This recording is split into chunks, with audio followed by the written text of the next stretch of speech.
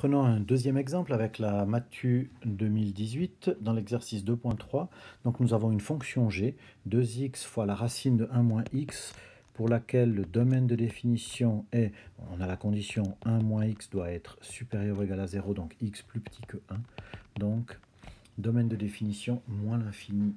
Ensuite, on pose trois points. On pose un premier point qui est O, l'origine, un point A qui est un point situé sur l'axe x coordonné x 0, et puis un deuxième un troisième point pardon, qui est le point B, qui va lui correspondre, qui est de même abscisse x et qui lui est situé sur la droite, sur la courbe représentative de G, pardon, euh, point d'abscisse x, pardon, coordonnée x, g de x. À ce moment-là, on peut faire un triangle, le triangle OAB. il s'agit de déterminer x que l'aire de ce triangle soit maximale.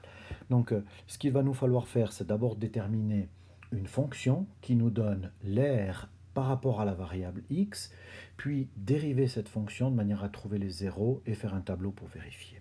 On commence par déterminer euh, la fonction. Donc on se rappelle que l'aire d'un triangle, c'est base fois hauteur divisé par 2.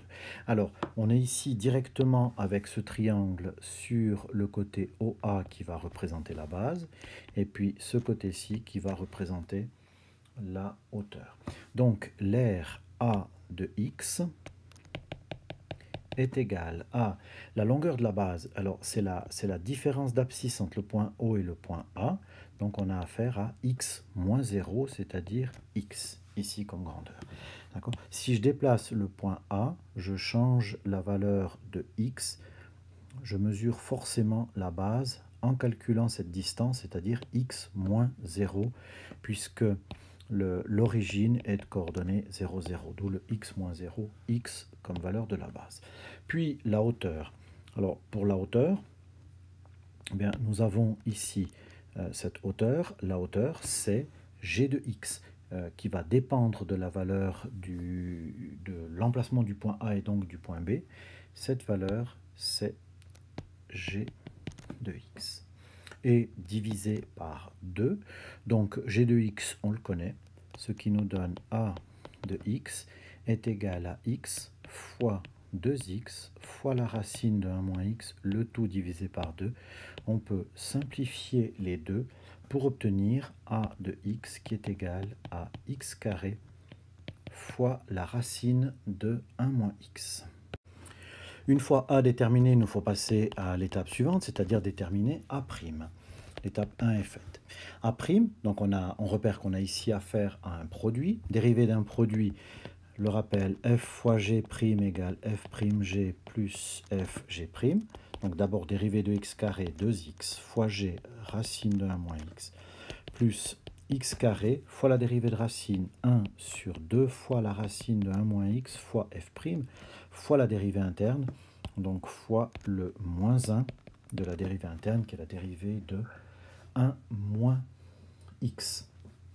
Donc on obtient, après simplification, il faut bien sûr tout mettre sur le même dénominateur, 2 fois la racine de 1 moins x.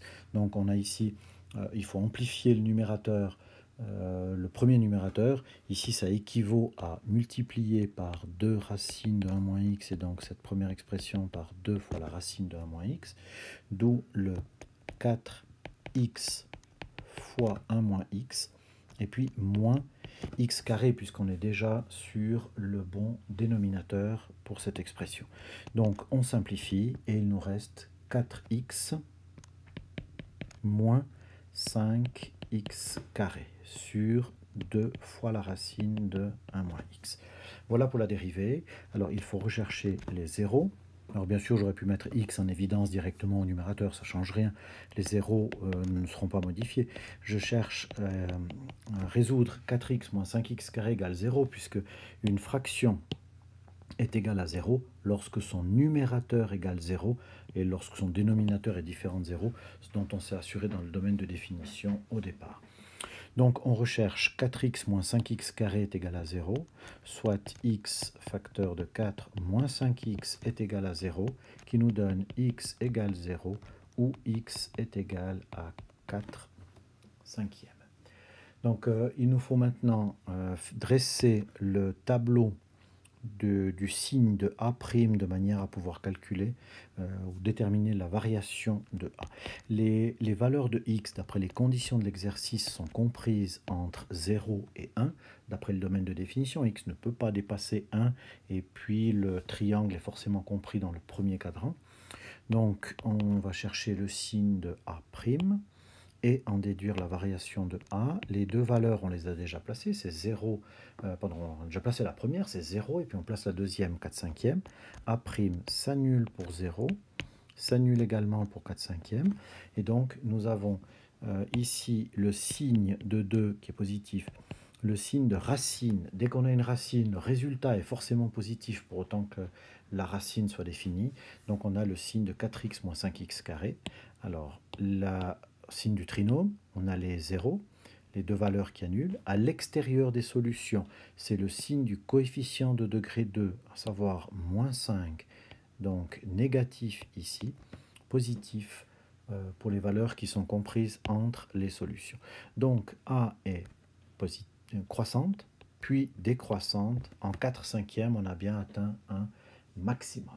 Donc la valeur que l'on recherche, il s'agissait de déterminer x, correspond à 4 cinquièmes. Merci pour votre attention. Je vous souhaite une belle fin de journée.